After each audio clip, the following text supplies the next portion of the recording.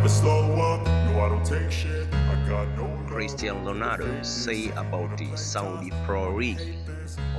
When Ronaldo conduct an interview, he said that but I believe that this country has amazing potential. They have amazing people and the league will be great in my opinions. We are much better and Saudi League is great better and next year will be even better. Step by step, I think this league will be among of the top five leagues in the world, but they need time, prayer, and the infrastructure. I don't know if that can erase all the past And the pettiness, a reflection of the emptiness